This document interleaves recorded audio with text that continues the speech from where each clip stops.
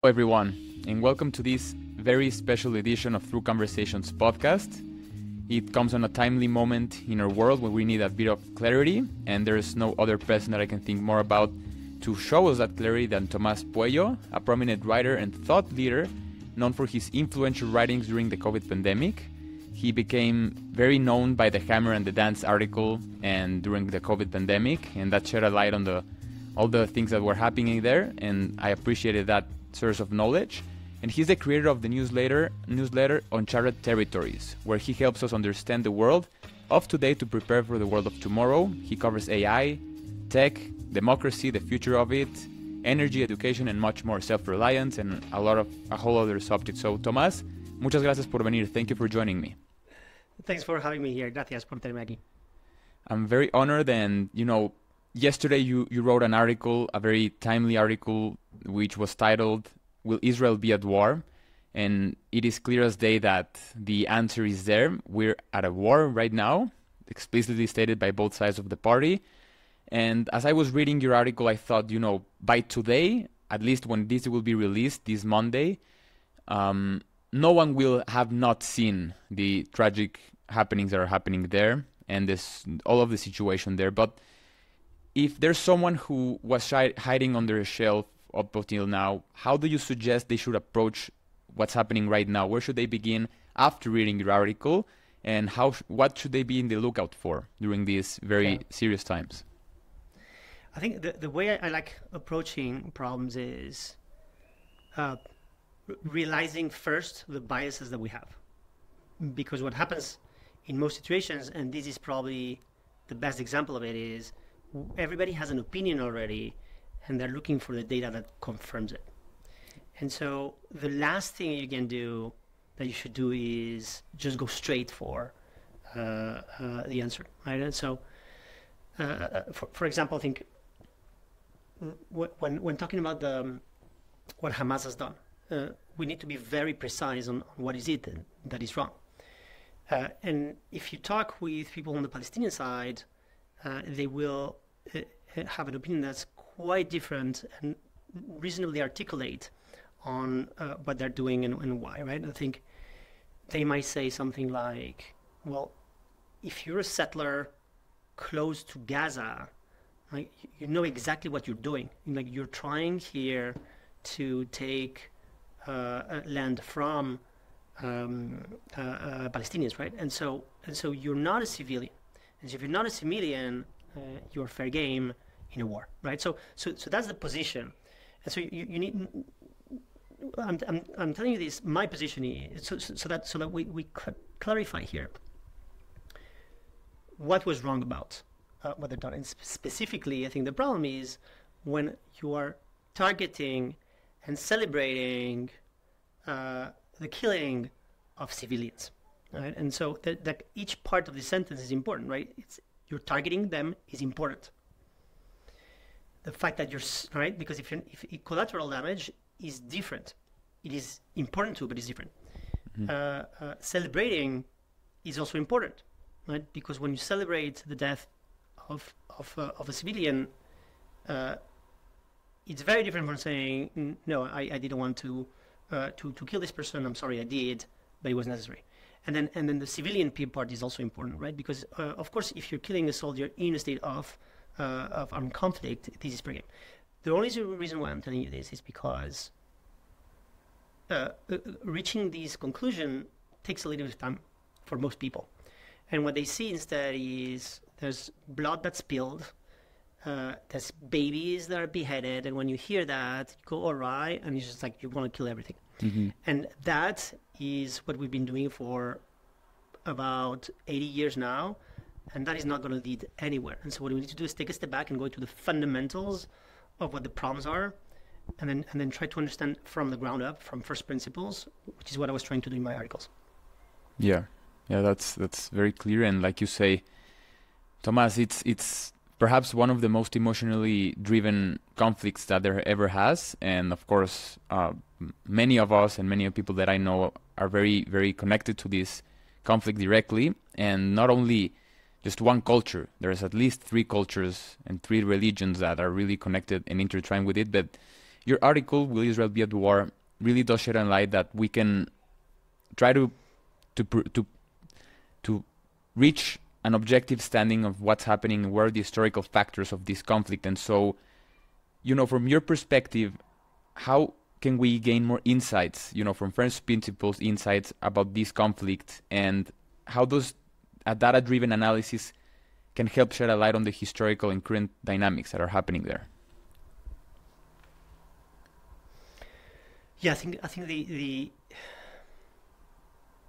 the the, the way I like doing it is when there's something I don't understand, I try to go and, and understand it instead of uh, uh, just striking through it, right? So, mm. um, one of the topics that I wrote about yesterday is um, who, who has a strong claim, the stronger claim on the area, because it's behind all of this, right? Uh, uh Palestinians are angry because they believe that all of Israel and Palestine belongs to them, and the Israelis.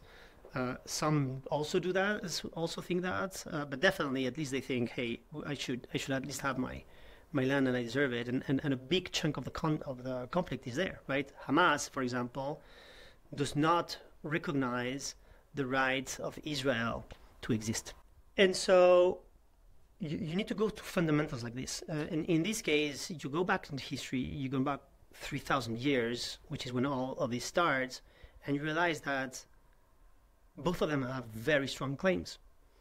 Um, you have Jews that have been there for a thousand years, 2,000 years ago. Muslims have been ruling uh, the area for a thousand years, um, and, and, and, there's many more aspects to it. And so, if you but you if you understand the, the history there, what the British promised to the Arabs, what they promised to the Jews, what the UN tried to do, why the Arabs decided not to accept a proposal of the UN of, of partitioning uh, the, the area in between Israelis and Palestinians. If you understand all these things, you understand both positions and why they are uh, uh, fighting each other. And then you're in a better position to, to answer uh, the core questions. In this, in this case, who has a claim, both have a very strong claim. And neither has a very strong claim on what the border should be. And so really it's just a matter of a decision. I think another aspect that that uh, very few people uh, consider is what are other Arab states doing for this, right? And so th- there's this conflict between what we hear them say and what we see them do, mm. right? And so and so you need to understand this before you have you can have an opinion on this topic. And and, and uh, uh, on, on, this um, specific topic, you will hear all the Arab states support the Palestinian um, position, but none of the pa- pa- uh, Arab states surrounding Palestine have given citizenship to any to the Palestinians, right? There's, in fact, more refugees, Palestinian refugees in Jordan than there are in the West Bank. Uh, Egypt, of course, uh, closes the Rafah border with Gaza. Gazans could uh, escape uh, uh, Gaza if Egypt wanted, which is an Arab country, but Egypt does not want. And so when you start looking into the history of what has happened there and what the Arab countries uh, uh, do and think, you realize that uh, they are actually in a very similar position as Israel. They also don't want Palestinians on their land. None of the none of the countries surrounding uh, uh, Israel want Palestinians in their land, and that's one of the key reasons why they're supporting the Palestinian uh, Palestinian state but they don't want any kind of state, right? E- Egyptians want a secular state, and Syrians want a religious state. And so you have every single country around it that does not want the Palestinians, and they are intervening into into the situation to make it worse. And so these are the kind of things that I, I'm I'm, uh, I'm telling you to illustrate the concept of. You need to go deep into each one of the aspects of the problem and understanding it before you can share an opinion. Wow. Yeah, it's it's quite striking that, like you say, that you know sometimes the actions don't don't connect with the words, and and during that whole time, just innocent people are, are being killed. And like you say, collateral damage or not collateral damage. We can talk about moral equivalency or not. And I think that those topics can, we can get further in the conversation because those are more, more of the emotional fueled themes in the conversation. But now we're trying to get on the first principles and, and trying to shed a light on what's truly happening. And like you say, Tomas, there are so many facets to this conflict, both within Israel, outer Israel, the neighboring countries, like you say. How is this piece of land, the Levant, like you, you talk about it. it, is the first time I ever read about this piece of land talking about the Levant, so I appreciate that knowledge. It's such an important piece of land, and so I want to, to get to the geographics of it all that you touch on, on your article, Will Israel be at war, Tomas? That why is this piece of land so important? Yeah, and I think most people miss this, uh, and it's a crucial part to understand what's happening. Uh, there's something very special about the Levant, which is the the basically the easternmost coast of uh, the Mediterranean. It's where you have Syria, Lebanon, Israel, Palestine, uh, south southeastern Turkey. Cyprus is also frequently bundled into that. It's a narrow piece of land uh, that has mountains that catch the wind from the Mediterranean. Why does that matter? Because it, uh, by catching the wind, it also catches the moisture inside of it, uh, and that rains uh, down, and that means that the land is fertile. And it's a very narrow strip of fertile land, and just behind behind that, there's just desert. This matters because the strip is big enough to have a sizable population, but not massive, so it cannot be huge. And it's surrounded by areas that are much more fertile. Egypt has, I think, 110 million people uh, today, right? Uh, it's it's like 200, 300 kilometers away from the Levant, and it's been around for 5,000 years because it was so fertile. Uh, uh Mesopotamia today, Iraq, was one of the um, uh, places where agriculture and civilizations were born because it was so um, uh, uh, uh, so fertile. And the same thing is true for nowadays. What's Turkey, uh, right? Uh, Anatolia. So what's happening is you have a piece of land that is reasonably fertile, but it's surrounded by other areas that are actually more fertile, which means that they create massive populations. Mm. And so you have Persia, which is today Iran, Mesopotamia, which is today Iraq, Anatolia, which is today Turkey, and Egypt, all four surround the Levant. They will always be more populous, they will always be more rich, and any of the four, if they want to expand, they will need the Levant. They will, it's in the middle, and so they will need it. What this means is for the last 2,000, 2 to 3,000, actually 2 to 4,000 years, uh, there's been empires um, conquering uh, the Levant, and for the last 2,000 years, up till 1946, 47, it was only empires. Mm. Only empires have been conquering this. With one more additional thing, which is the Levant obviously is on the coast, and so whoever wants to control the Mediterranean needs to control this area too. So then you have Romans, you have Byzantines. Today you have the, um, you, the Americans. Whoever controls the sea needs to control the Levant. And so you have five powers, four regional, Iran today, Iraq, Turkey, and Egypt, and then whoever is in the sea who want to fight for this piece of land that is relatively small uh, and not very populous, but populous enough to matter. And so that's one of the reasons why this area has been one of the most conflict ridden in the history of mankind.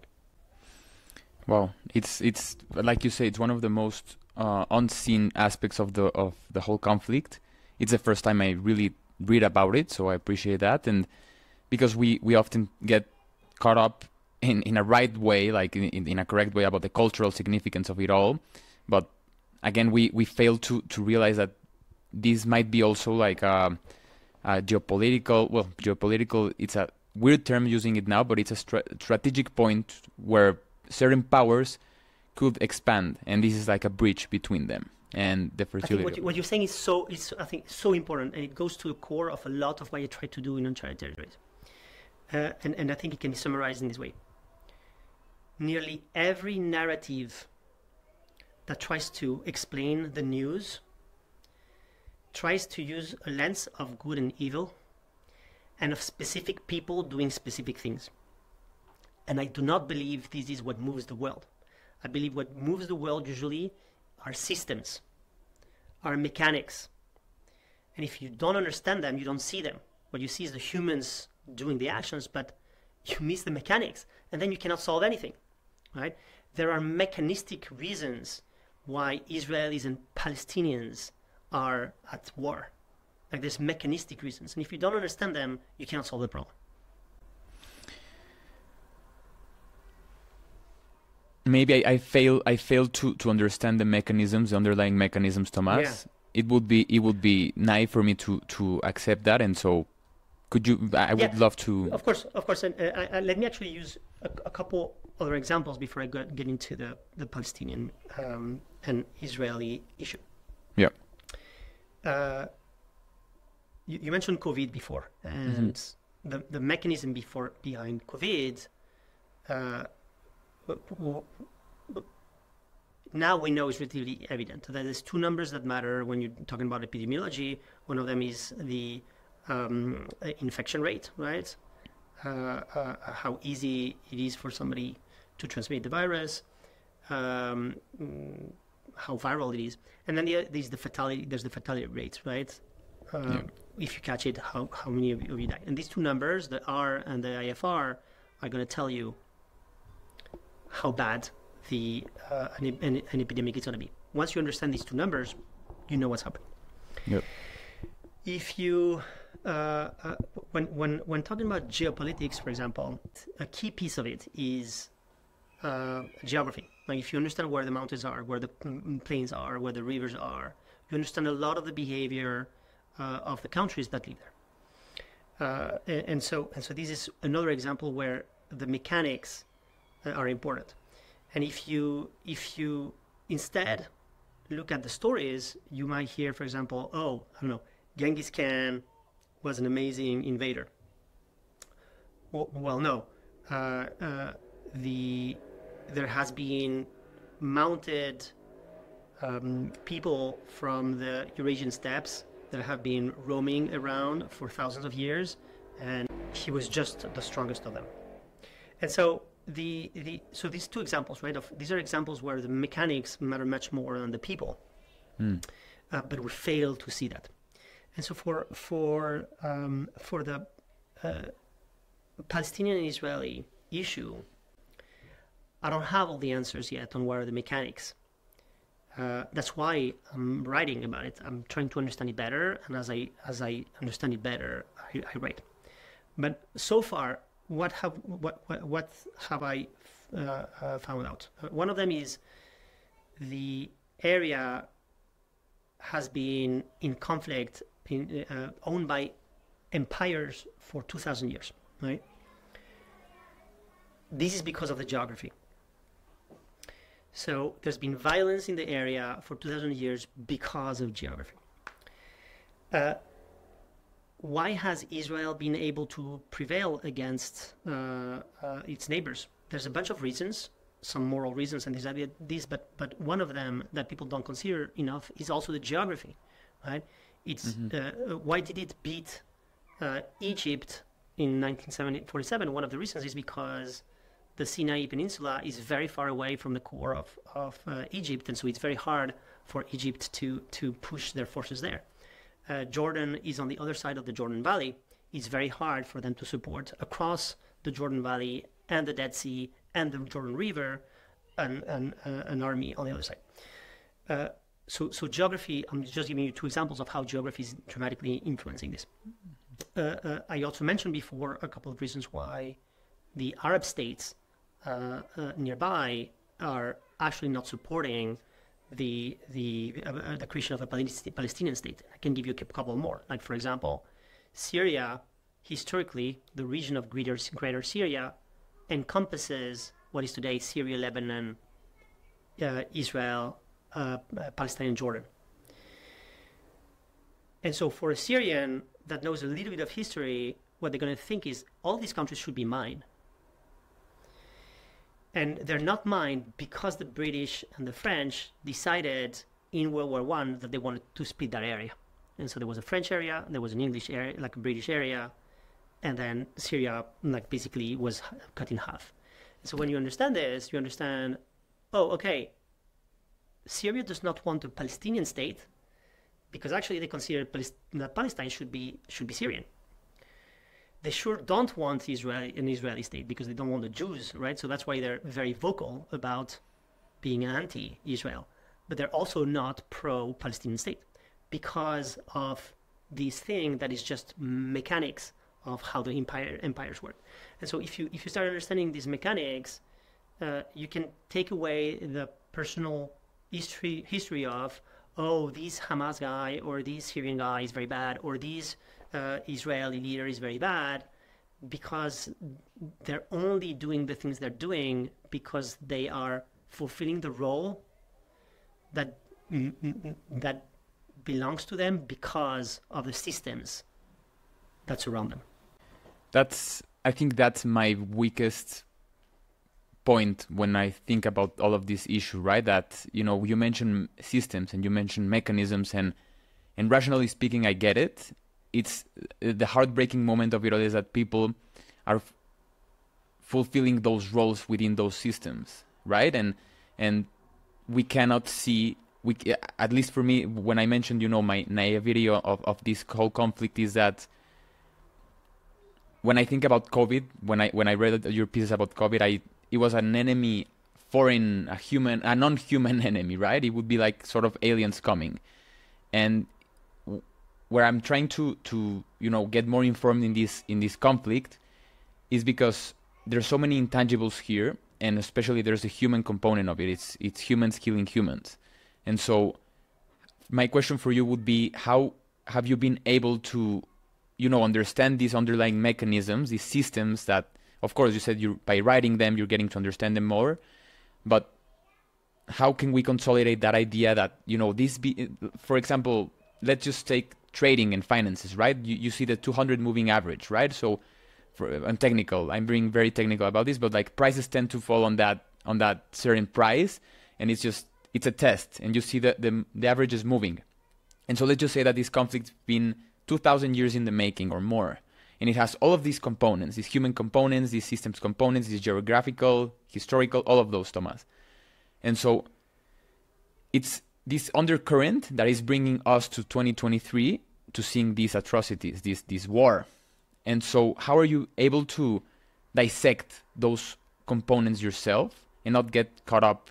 And, and I think a, follow up question, yeah, I could ask that later, but I'm going to say it now is how are you how you've been able you know in such an emotionally driven conflict separate biased information unbiased information and what would you recommend me to look out for and our listeners to look out for navigating this these are, these are fantastic questions and, and i don't have uh, answers i can i can think out loud but I, I, don't, I, don't have full answers and i think maybe maybe one of the examples that you can use is um, is the, the, the moral aspect here and take a couple of comparisons, right?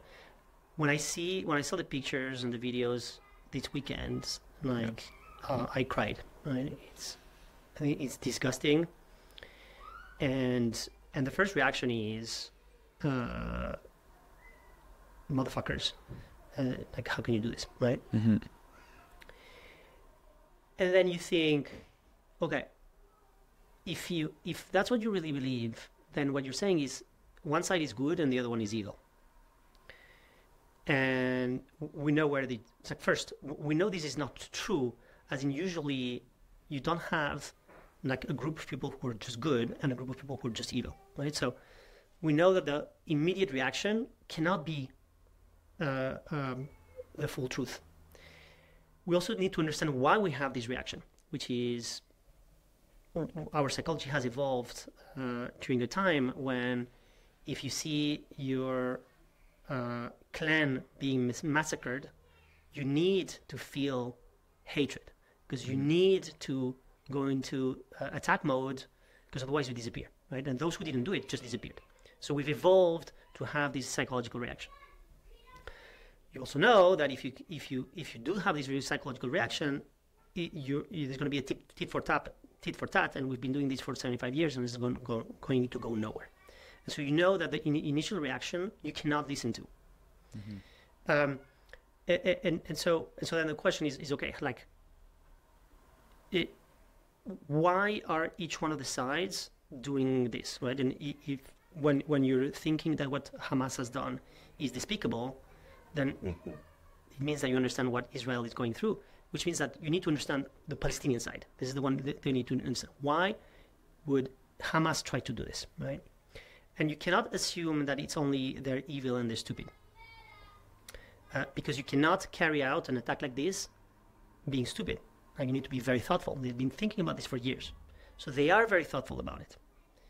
So you need to understand, okay, what is the, uh, uh, uh, why is causing them to think that this is the right um, pace of, like, path of, of, of action, right? And so uh, then, then you need to understand, okay, what are the geopolitics of, of, of Palestine? Why is this the path that they're, that they're taking? And is this the only path that they could be taking, right? And I don't believe it's the, is the only path. Right, and a good example is what's happening in in uh, in the West Bank, where they're not following this path. But in the West Bank, they're not progressing towards a a, a, a Palestinian state. In the West Bank, uh, uh, uh, the Palestinian Authority has uh, accepted Israel's right to exist. Mm-hmm. Um, and has given up in other historical claims that they have, while Israel keeps building their settlements. And so it's like okay, like from a from a Hamas perspective, what you're seeing is maybe the the the mm, peaceful approach is not the right one. We're going to use the violent one, and it's not the only thing that goes into the minds. There's many more things that are going into the mind. Like for example, one of them might be uh, it's not only about uh, progressing towards um, a, a, a, two-state solution. Maybe it's actually for internal politics. I need to not maybe do something about the, the for the Palestinians, but look as if I'm doing. Another aspect that is very objective is well, I'm putting like right now it's not on the news and it's only going downhill. So I'm going to at least put in the, put it in the news and then and then see what happens, right? So there's a lot of very objective reasons why Hamas would want to do something like this. And I think so, so, so that's part of the, of the of the answer. And I think another part that, that I want to discuss is is okay, you, maybe you can attack Israel, but why do you need to, to be evil about it? Which I think this is a specific thing that a lot of people are reacting to. Mm-hmm. And, and, and for that, I think one of the things that I don't hear much discussion about is um, how does evil progress in society? Like, what is evil? How does it pervade society? Uh, uh, uh, uh, how does it gain terrain or not? And I think this is it's nothing. It, I, I, I never hear anything about this. But I think if you think like the, the, there's one topic, there's one area in which I've heard about this, which is the, the growth of Nazism, right? Mm-hmm. And when you, when you, whenever you hear stories about the growth of Nazism, what you hear people say is it was very gradual. I didn't really, when I wasn't in, in, in it, I really, I didn't really feel it, and, and, and it just, it just happened. And, and so they don't know rationally what happened, but then they end up uh, making the decisions that they do and then they're confronted to with with the genocide that, that they caused and then and then the, the, the, the castle crumbled right? Mm-hmm. and so it's like this mechanism is poorly discussed. And there's a lot of, of aspects that come with it right? Like uh, uh, uh, uh there, there's an aspect of me versus them right? Now you want to other the other one.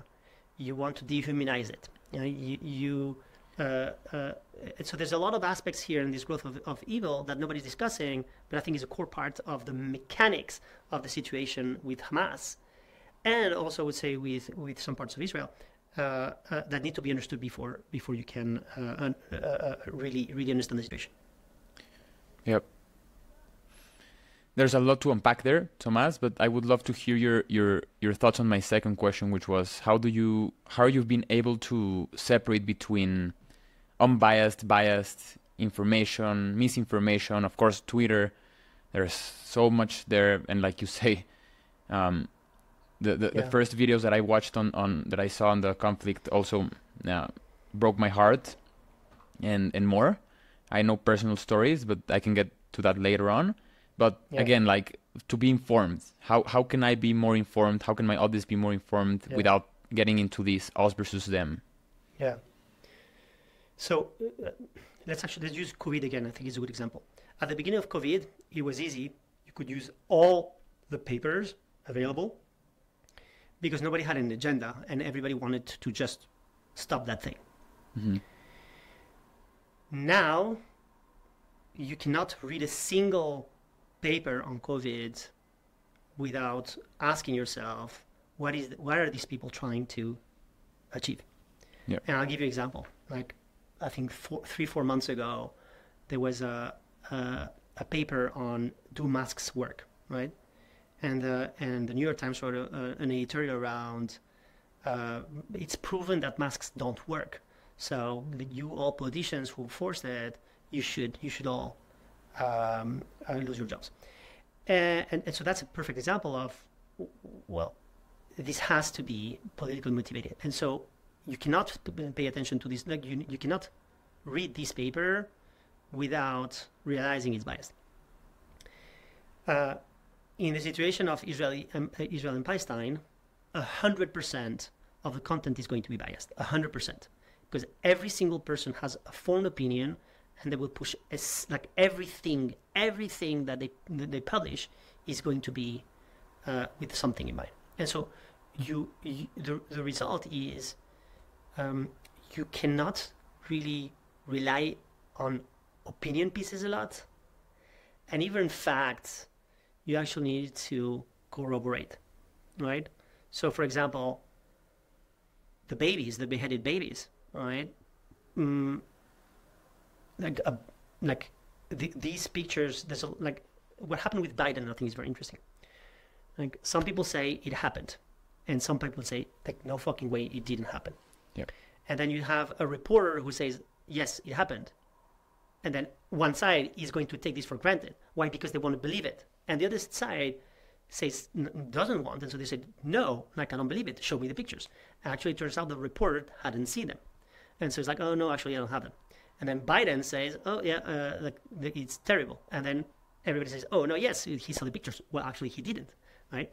And so, and so this is a perfect example where even facts that appear to be completely categorical are not. And so uh, that, that's why I go and look at them myself. I, I go one by one, and each one of the uh, of the of the hypotheses that I have, of the ideas that I have, of things I hear, I'm going to th- to think how likely is this person? Uh, is this going to be biased by based on the agenda of the people? And then if it's very biased, I'm going to have to go deeper and deeper and deeper until it's confirmed. I'm going to see, okay, how many people are, people are confirming this? Uh, are they from different uh, um, um, sides? And so, uh, and, and you need to, de- in this situation, you need to do it with everything because the bias is prevalent everywhere. Yeah. It's, it's hard because there's so many pictures and so many stories of again of people close to me and and and and of a close circle.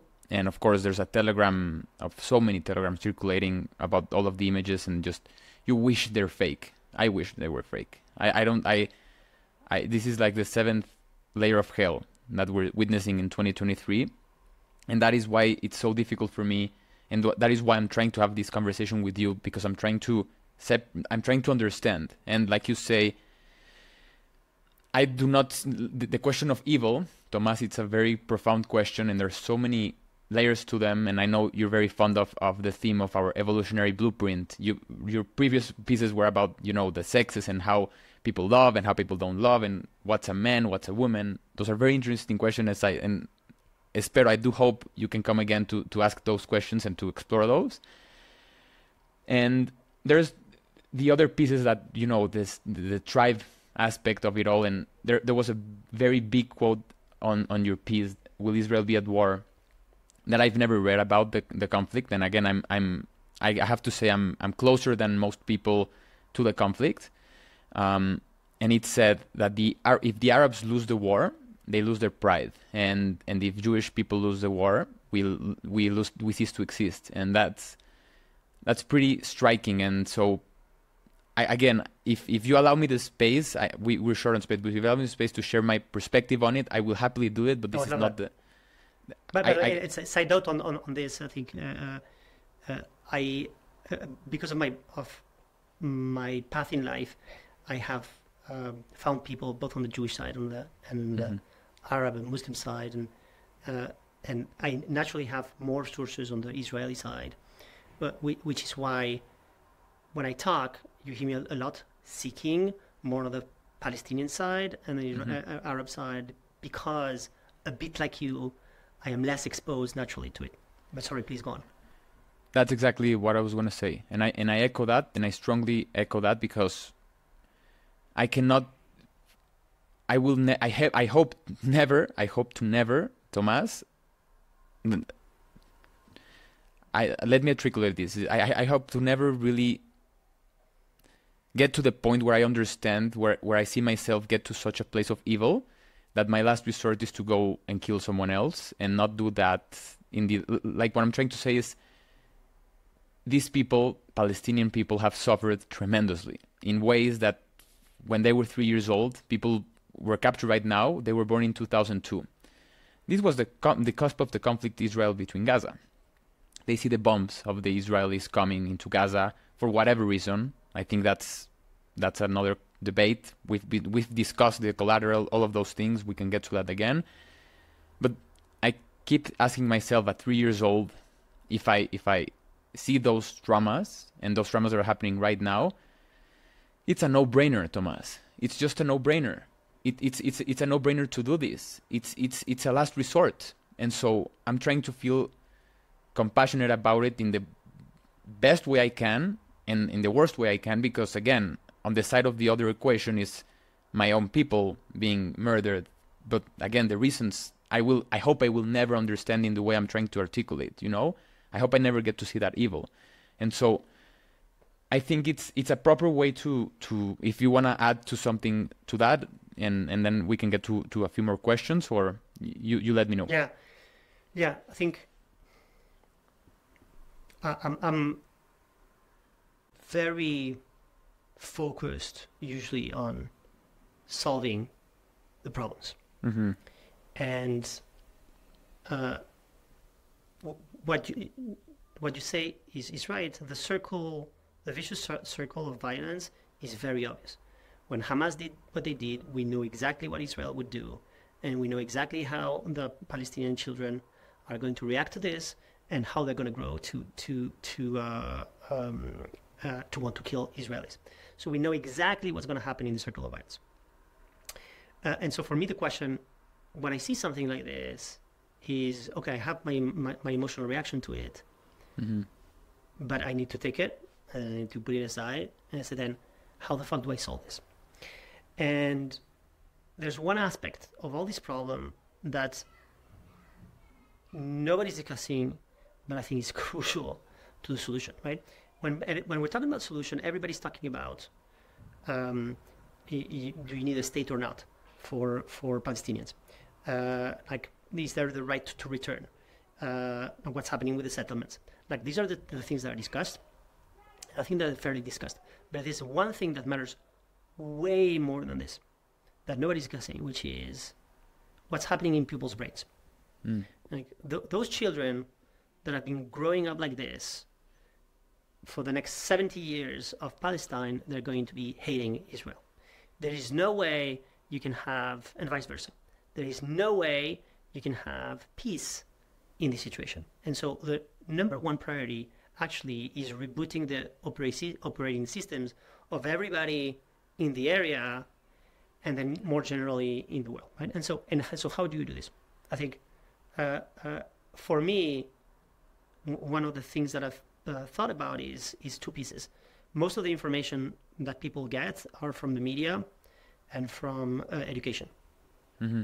So you need neutrality on both sides. Uh, if you look at uh, how um, Japan and especially Germany were turned around after World War II, uh, it was basically somebody comes in and shows like, to the Germans, like, this is what you did. Like, look at the bodies of the people, right? You need a complete reboot of the operating system. And so in this situation, how can you, and on both sides here, how do you, how can you have a complete reboot of the operating system?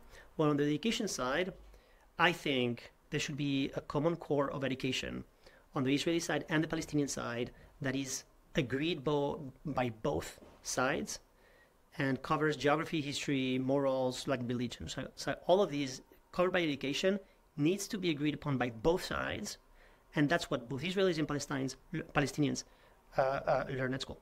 So that's on the on, on the education side. If you don't do something like this, there's going to be hatred. If there's hatred, there's not going to be safety, and if there's no safety, both sides are going to be at odds right? One of the reasons why Israelis don't want uh, uh, uh, a Palestinian state is because they, they, think this is going to lead to more violence, violence towards them, right?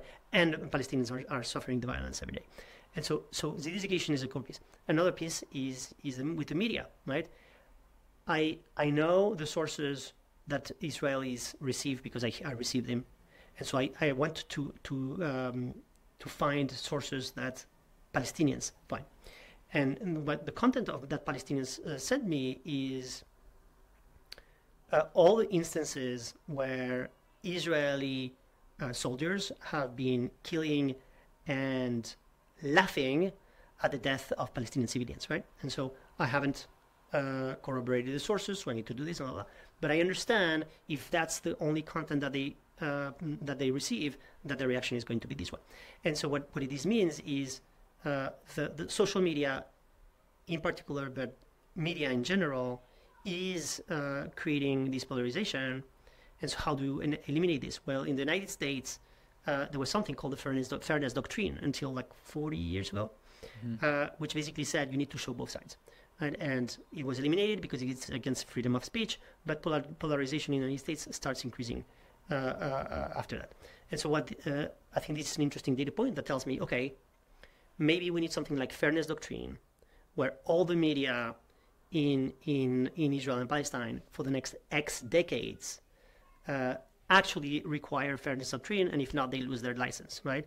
The, you can definitely do this with for for mass media. In the in the case of social media, I'm not sure how you would do it, but I'm pretty sure you can tweak algorithms to make sure that both sides receive uh, a, a similar content. Uh, and I think both of these things, the education side and the and the media side, would uh, do the best, would have the biggest impact in rebooting the OS of the region. Mm-hmm. Like you say, there is not a there is not a, a weighted balance, at least in social media, right now of my feed. Personally, there isn't. I can say for my own personal account, I I, assume it is for most of the algorithms, and so what I did is there is this just uh, ex Twitter Spaces uh, account called the Gaza Times, and oof, I mean, it's heartbreaking, and it's something we all need to see from also from mm. both sides. Oh, okay. I hope we can do this again. There's so much to cover, but now that we're we're wrapping up, Tomas, in which would be um, I can it would be a whole day, at least a week of conversation. I think it, it's it's no justice for an hour conversation of this very nuanced and challenging topic, an emotional one. And I think I, I I kind of failed trying to be objective, but I'm trying to share also the, the, the personal. I'm trying to just the personal story of it all. It's it's hard to discern, but talking with you has helped that. And so, you mentioned solution-driven option. Oh, you wanted to say something, Tomas?